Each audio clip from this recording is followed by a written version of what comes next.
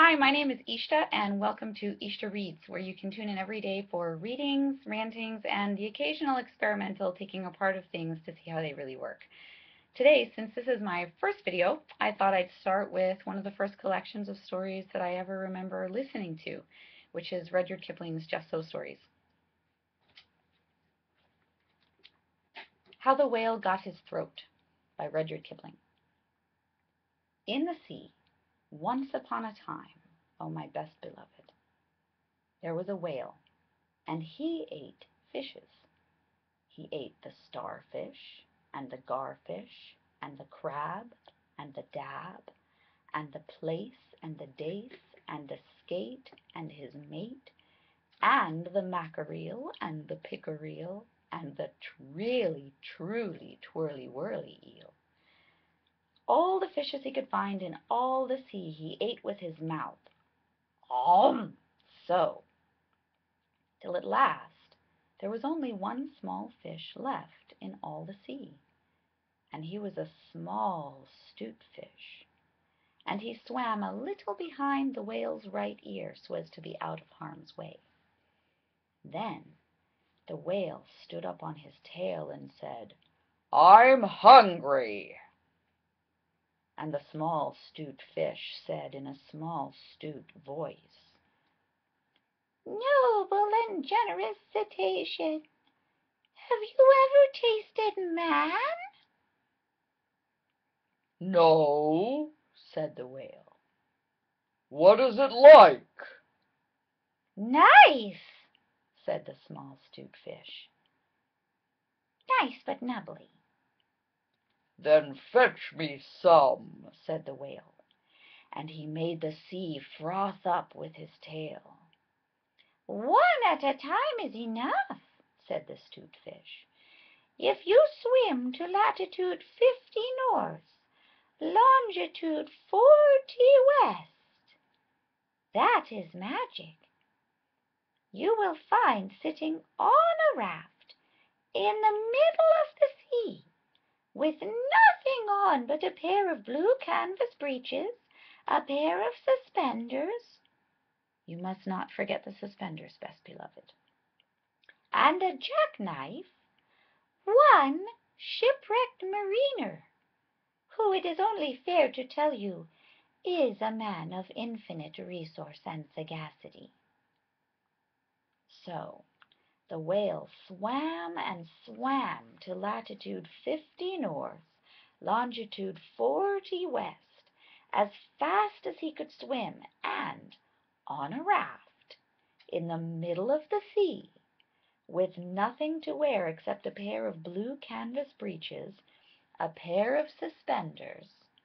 You must particularly remember the suspenders, best beloved and a jackknife, he found one single, solitary, shipwrecked mariner trailing his toes in the water.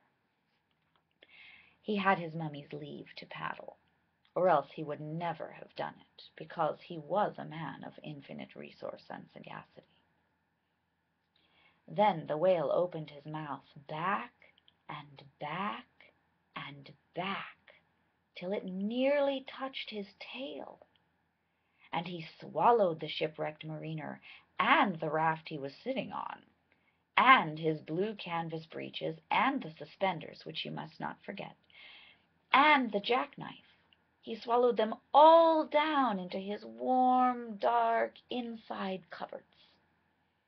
And then he smacked his lips, so, and turned round three times on his tail.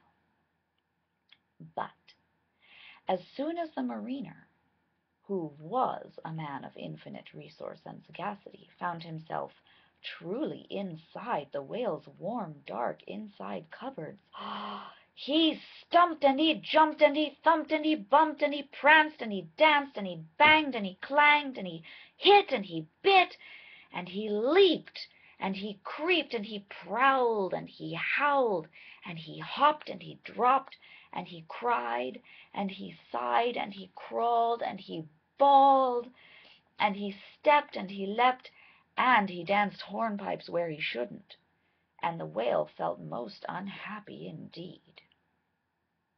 Have you forgotten the suspenders? So he said to the 'Stute fish, This man is very nubbly, and besides he is making me hiccup. What shall I do? Tell him to come out, said the 'Stute fish. So the whale called down his own throat to the shipwrecked mariner.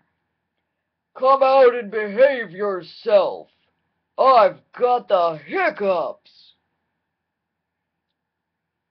Nay, nay, said the mariner, not so, but far otherwise. Take me to my natal shore and the white cliffs of Albion, and I'll think about it. And he began to dance more than ever. You had better take him home, said the 'Stute fish to the whale. I ought to have warned you that he is a man of infinite resource and sagacity.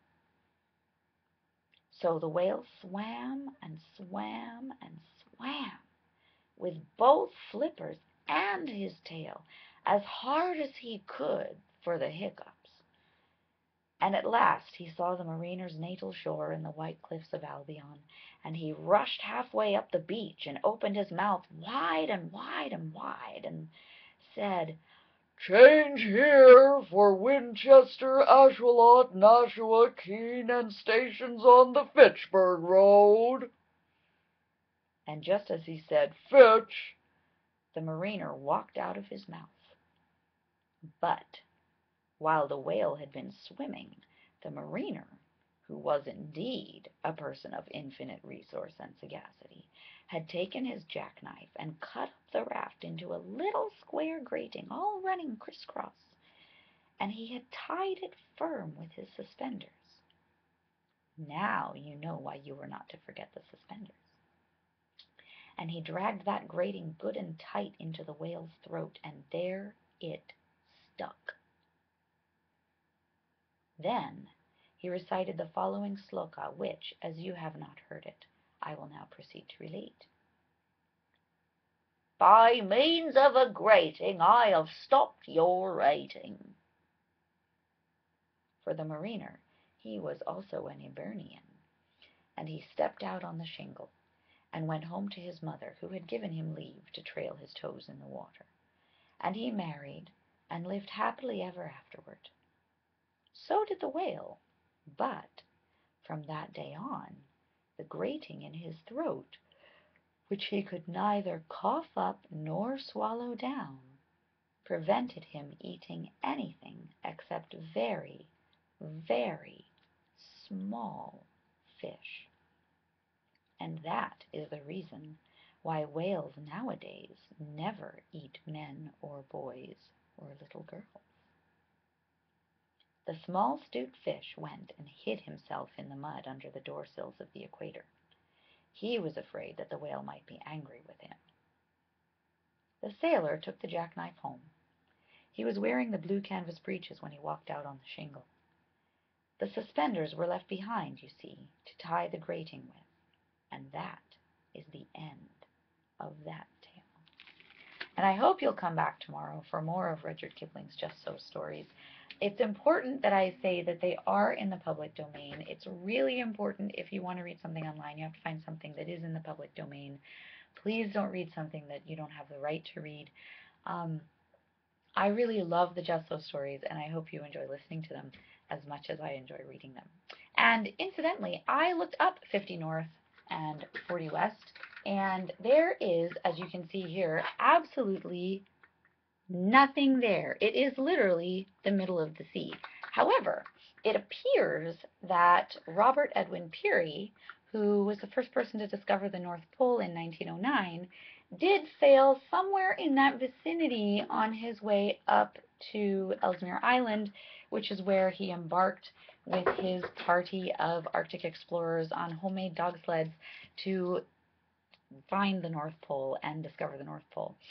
So um, he did actually receive a congressional medal to honor his achievement on that expedition. Unfortunately, he received it in 1944, a mere 24 years after he died, which only goes to show that if Congress is involved, by the time they actually get around to doing anything, it'll probably be too late. Thanks for tuning in, and I hope you'll come back tomorrow.